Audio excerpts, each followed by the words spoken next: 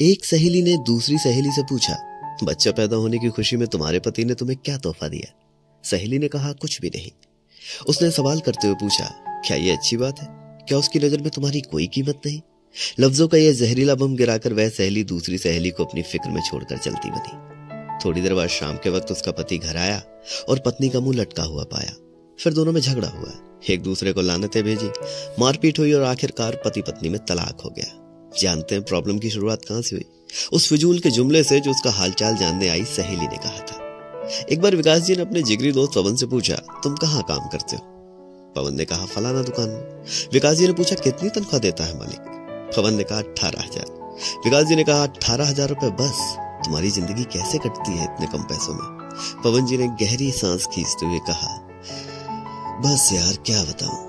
कुछ दिनों के बाद पवन जी अपने काम से बेरुखे हो गए और तनख्वाह बढ़ाने की डिमांड कर दी, जिसे मालिक ने रद्द कर दिया। पवन ने जॉब छोड़ दी और बेरोजगार हो गए। पहले उनके पास काम था और अब कोई काम नहीं रहा। एक और साहब ने एक शख्स से कहा जो अपने बेटे से अलग रहते थे, तुम्हारा बेटा तुमसे बहुत कम मिलने आता है। क्या उसे तुमसे मोहब्बत नहीं रही? बाप ने कहा, बेटा ज़्यादा व्यस्त रहता है। उसके काम का शेड्यूल बहुत सख्त है। उसके बीवी बच्चे हैं, उसे बहुत कम वक्त मिलता है। पहला आदमी बोला, वाह, ये क्या बात हुई? तुमने उसे पाला पोसा, उसकी हर ख्वाहिश पूरी की। अब उसको बुढ़ापे में व्यस्तता की वजह से मिलने का वक्त नहीं मिलता। ये तो ना मिलने का बहाना हुआ ना? इस बातचीत के बाद बाप के दिल में बेटे के प्रति शंका पैदा हो गई। बेटा जब भी मिलने आता, वो यही सोचता रहता कि उसके पास सबके लिए वक्त है सिवाय मेरे।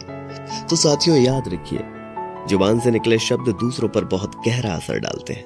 बेशक कुछ लोगों की जुबानों से शैतानी बोल ही निकलते हैं। हमारी रोज़मर्रा की ज़िंदगी में बहुत से सवाल हमें ऐसे हैं जो मासूम लग सकते हैं। जैसे, तुमने यह क्यों नहीं खरीदा? तुम्हारे पास वो क्यों नहीं है? तुम इस शख्स के साथ पूरी ज़िंदगी कैसे चल सकती हो?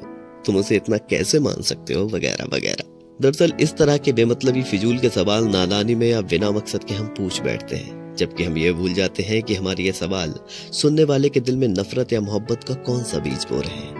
आज के दौर में हमारे इर्द गिर्द समाज या घरों में जो टेंशन टाइट हो रही है उसकी जड़ तक अगर जाया जाए तो अक्सर उसके पीछे किसी और का ही हाथ होता है। वो ये नहीं जानते कि नादानी में या जानबूझकर बोले जाने वाले जुमले किसी की ज़िंदगी को तबाह भी कर सकते हैं। तो सोचिए सोचिए और अनुसरण कीजिए। कल सुबह फिर मिलेंगे हम एक अच्छी बात के साथ। तब तक के लिए नमस्कार।